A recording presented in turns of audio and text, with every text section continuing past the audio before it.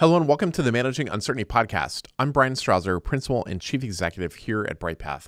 And in this episode of Managing Uncertainty, I want to dive into how geopolitical shifts are impacting crisis management and resilience planning for organizations around the world.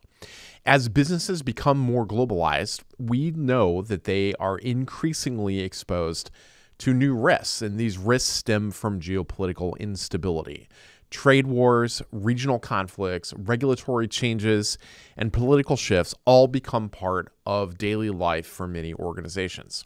So, we'll talk in this episode about how businesses can prepare for these uncertainties and adjust their crisis management and business continuity strategies in order to stay resilient.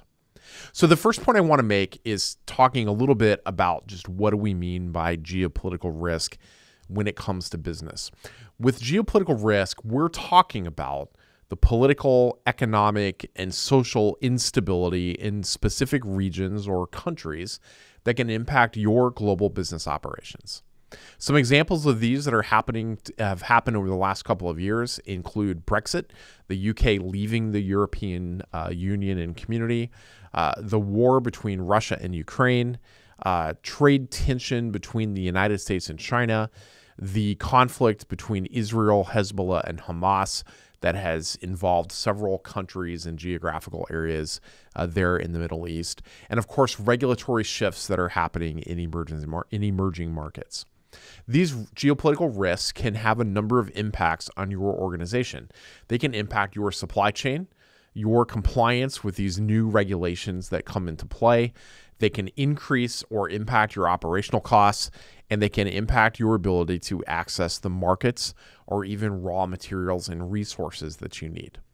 The key takeaway here is when it comes to geopolitical risk, that businesses need to understand that these risks are not confined to just a specific region or a specific country. They may uh, they're going to occur of course in a country or region, but they will have ripple effects across the globe and impact your entire organization. Let's talk a little more about how some key some key ways that geopolitical risks can impact crisis management. So, of course, you, most companies have some type of global supply chain, whether that's raw materials, access to markets, access to manufacturing in other markets, or even a distributed global workforce that is part of your supply chain, so to speak.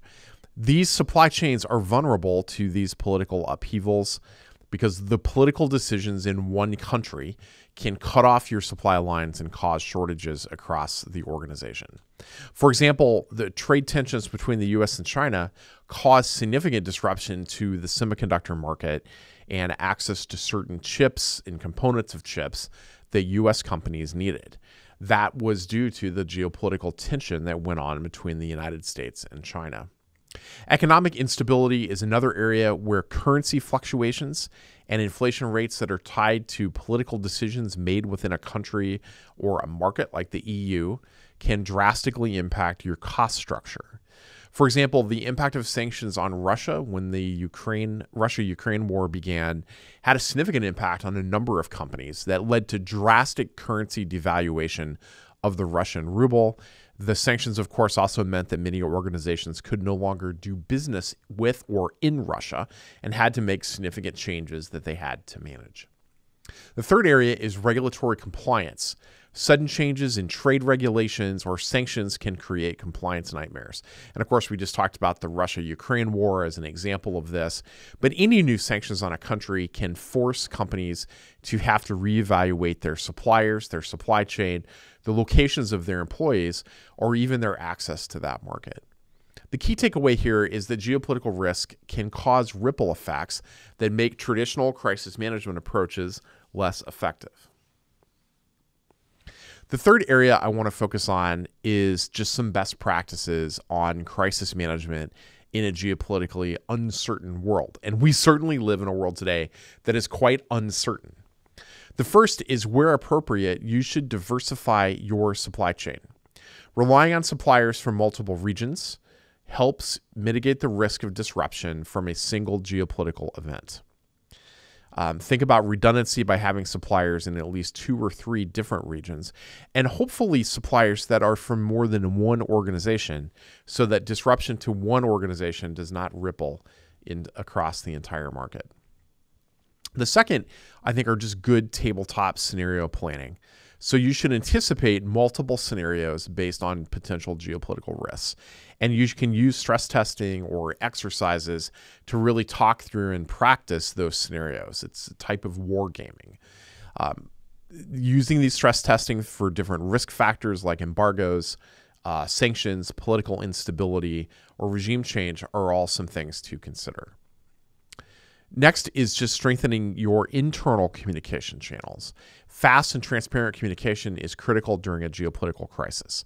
So, ensuring that your crisis team is informed and is able to rapidly respond to sudden regulatory changes or shifts in trade policies is an important part of your strategies. You should have regular briefings from an intelligence perspective with your crisis management team. Make sure that your legal risk and compliance teams are a part of those conversations. And this is a great example of where using your crisis management process can help you make sure your team your teams are informed and prepared as things shift rapidly. Again, flexibility and adaptability are really key to resilience in the face of this type of geopolitical uncertainty. Lastly, I want to talk about the role of leadership in managing geopolitical uncertainty. So, your leadership team needs to foster a culture of adaptability and model quick decision making. The ability to make quick, informed decisions can be the difference between sinking or swimming in these geopolitical crises. Important stakeholder communication and having regular communication with your stakeholders, including your customers, your employees, your investors, if that's appropriate, helps maintain confidence during uncertain times. Companies that have transparent leadership um, during Brexit, for example, had stronger shareholder confidence. And then lastly, for this section, partnering with governments and non governmental organizations. I think in geopolitically sensitive areas, businesses may need to work closely with local governments or NGOs to navigate regulatory and social challenges. What you want with your leadership team is to ensure that they are fully informed, that they're able to balance that strategic foresight with the immediate crisis response actions that you need. I have found it valuable with leaders to build um, solid triggers and actions where as you begin to see instability arise, to get ahead of that through leadership conversation, set some clearly defined triggers so that you know when you cross those triggers, here are things that you are going to do as a component of that. Lastly, let's talk about some actionable steps for, uh, moving forward and how you can improve your maturity in this area. The first is to conduct regular risk assessments. Geopolitical risks are going to evolve and they will move quickly. Making sure that your risk assessments at a country or regional level are frequent and updated is important. You may even want to consider updating two to four times a year or even on a quarterly basis. You want to develop contingency plans for major markets. Again, identifying key geopolitical risks in those markets and then creating tailored contingency plans. Again, I have found the triggers, uh, thresholds, actions approach to be a good way of doing this. And lastly, engage with experts. You can work with geopolitical risk consultants and local experts to stay ahead of what is happening and stay ahead of changes in regulations, trade policy, and political climate. Again, preparation is everything when it comes to this area of risk. The more that you plan ahead, the more you use your crisis process as that way of convening and talking about what's going on and keeping your crisis management team informed, the better equipped your organization will be to handle, handle geopolitical crises.